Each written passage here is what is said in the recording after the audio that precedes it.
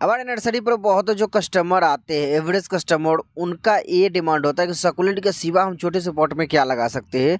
तो इस वीडियो में मैं आपको कुछ ऐसे प्लांट रिकमेंड करूँगा, जो प्लांट को आप आराम से लगा सकते हो और वो बिल्कुल भी सकुलेंट में नहीं आते हैं, जिनका लाइफ भी होता है। ओके तो बस वीडियो आपको पूरा देखना है। काफ़ी प्लांट्स है, जो हो सकते हैं, और आपके सिटी में भी आराम से मिल जाएगा उसमें के लिए कोई बड़ी बात नहीं है। पहला प्लांट जो आता है मनी प्लांट आप बोलोगे बहुत सिंपल यस मनी प्लांट आप छोटे से छोटे पॉट में आराम से लगा सकते हो और लॉन्ग टाइम तक भी लोग मेंटेन करके रखते हैं। आपको मेंटेनेंस आना चाहिए सॉइल मिक्स सबको ध्यान रखना है, क्योंकि आप छोटे पॉट में लगा रहे हो भाई साहब, सारे के सारे न्यूट्रिएंट्स उनको मिलने चाहिए, तभी ग्रोथ होगा। अब ये जो है पोथोस के टाइप है, इसमें अलग अलग टाइप के भी आ जाते हैं।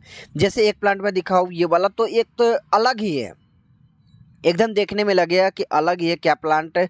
लेकिन मनी प्लांट के ही वैरायटी में आ जाते हैं मनी प्लांट बोल सकते हैं। उसी के जैसा बढ़ते उसी के जैसा क्रीप कर जाते हैं, नीचे आते हैं। इसमें वेरीगेटेड ये वाला है, इसके ग्रीन भी आते हैं। जो ग्रीन देखने में थोड़ा आपको अलग लगेगा, लेकिन देखिए इसके काला पॉट अगर हम निकाल दें, इसमें लगा दें तो अच्छे खासे ये आराम से बढ़ जाएँगे। ये है उसका ग्रीन एक्चुअली इसमें दोनों मिक्स है।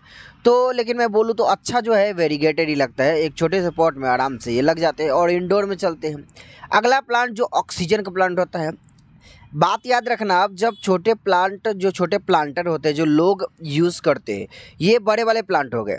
इनको हम नहीं लगाएँगे, लेकिन ये छोटे वैरायटी एक अलग वैरायटी स्नैक प्लांट का होता है, उसको आप छोटे प्लांट प्लांटर में लगा सकते हो, और जो छोटे प्लांटर में जो लोग लगाते हैं प्लांट उनको ज़्यादातर होता है कि वो अंदर ही रखते हैं बेडरूम में लिविंग रूम में, ऐसे जगह पर रखते हैं। अब ये प्लांट मैं क्या रिकमेंड करूँ? हमारे यहाँ के कस्टमर खुद हमको रिकमेंड करते हैं कि भाई जेड प्लांट हम छोटे में उगा लेते हैं।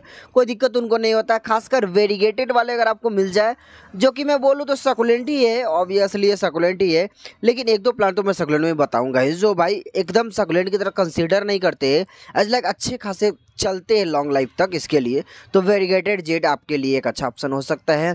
अगला हम थोड़ा फास्ट फास्ट में देख लेते हैं कैक्टस आपके लिए ऑप्शन हो सकता है। कैक्टस को इवन आप छोटे से छोटे पॉट में उगा सकते हो। ये तो पॉट बोलूँ तो मैं बड़ा है। इसके नीचे आप देख लो जो ओरिजिनली जो सकुलेंट लगा हुआ है, वो छोटे से पॉट में, एकदम सकुलेंट वाले पॉट में ही लगे हैं और अच्छे खासे हाइट ये ले रहा है। ये मेरे यहाँ का फेवरेट सबको पसंद आ जाता है पहली बार में। देखने में भी खतरनाक लगता है, एकदम छोटे से पॉट में आप आराम से लगा सकते हो।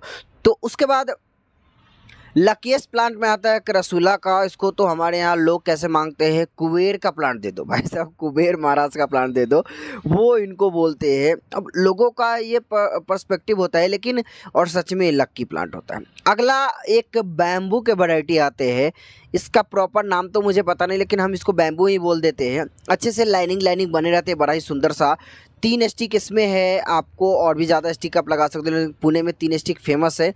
थोड़ा सा प्लान कॉस्टली आपको बैठेगा, लेकिन छोटे से पॉट में आराम से लॉन्ग लाइफ तक चलेगा। बेस्ट एयर फ्रेशर में बम्बू का प्लांट होता है और लकी प्लांट में होता है। तो आप इनको लगा सकते हो, आराम से कोई दिक्कत नहीं है।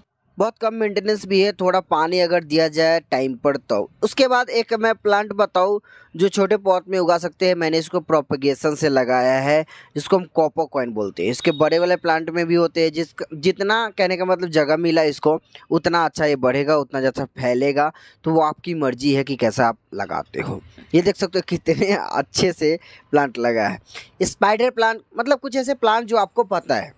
लेकिन आपको नहीं भी पता होगा, अगर जो स्टार्टिंग गार्डनिंग करना चाहते हो तो स्पाइडर प्लांट एक हो सकता है जो अच्छे खासे छोटे से पॉट में चले जाते हैं। ये कुछ ऐसे प्लांट है जो कस्टमर हमको बोलते हैं, भाई साहब, ये छोटा पॉट है, हमारे में फन्ना प्लांट लगा दो मतलब स्पाइडर लगा दो जेट लगा दो, ऐसे बोलते हैं। अब होता क्या है, जितना ये प्लांटर का साइज़ है, उतना में तो प्लांट का जड़ होता है तो उतने में प्लांट ग्रो करे बहुत बड़ी बात है। एक अगर ये दो प्लांट है ये लिपस्टिक एग्रोनीमा का दो प्लांट है। इसमें से अगर एक प्लांट आप निकाल के लगा लो तो आप उसमें भी उगा सकते हो छोटे से पॉट में। और ये एग्लोनीमा के प्लांट को भी आप उसमें आराम से उगा सकते हो, क्योंकि बहुत धीरे धीरे बढ़ता है और अच्छे खासे ये एयर फ्रेशर प्लांट होते हैं। डेकोरेटिव प्लांट बोल सकते हो हाउस प्लांट बोल सकते हो, बहुत बोल सकते हो। बेस्ट एयर फ्रेशर में हम बोलते हैं इसको, अच्छे खासे चल जाते हैं। उसके बाद कलंचू। भाई साहब फ्लावर में अगर आपको लगता है तो एक कलंचू का प्लांट मैं रिकमेंड आपको करूँगा, जो छोटे से लगे, एकदम छोटे से पॉट में, क्योंकि उसके जड़ जो है ज़्यादा नहीं फैलता है। अगर फैलेगा तो बहुत अच्छा ग्रोथ भी आपको रहेगा। तो ये एक प्लांट तो ये भी हो सकता है। तो आज के इस वीडियो में मैंने इतना ही आपको बताया। बहुत ज़्यादा काम का था, बहुतों कन्फ्यूज़न है लोगों को। जिनको पता है, उनके लिए तो नॉलेजेबल है ही। जिनको नहीं पता है, उसके लिए तो रामबान साबित हो गया।